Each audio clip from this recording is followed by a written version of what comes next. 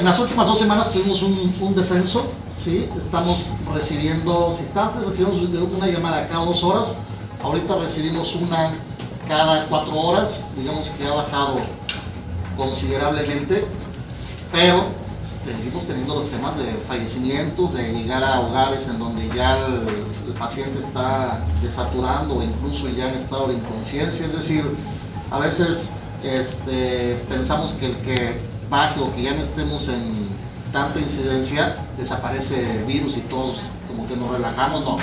Es una curva, ¿no? Y mientras la campana no esté aquí en el fondo, sigue habiendo un alto riesgo y esperando, insisto, que el regreso a clases y otras actividades sociales no vuelvan otra vez a sostener y esperando que la temporada invernal también este, no, nos, no nos pegue. Por eso la única opción que tenemos real es vacunarnos, ¿no? porque estos fenómenos sociales climatológicos, por eso no los podemos detener al parecer, ¿no? sobre todo los sociales.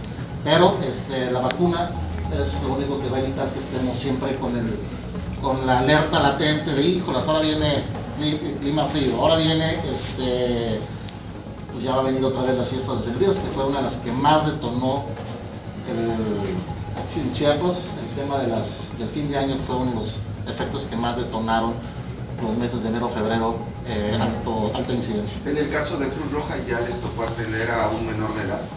En el caso, como emergencia médica, no. ¿no? Este, en el tema del COVID, la emergencia médica es, es, es, este, es curiosa porque normalmente cuando, cuando un, una familia pide una ambulancia por, una, por un síntomas de COVID, es porque ya está niveles de desaturación muy graves. Prácticamente lo mueves para intubar, ¿no? ¿Por qué? Porque la familia espera hasta el último momento a ser intubado, ¿no? En el caso de los niños que han sido hospitalizados en Chiapas, y aquí en Tuxtla principalmente, han sido niños que tienen alguna comorbilidad y que están ya en el sistema hospitalario, ¿no? O, o que acaban de nacer o prematuros, ¿sí me explico?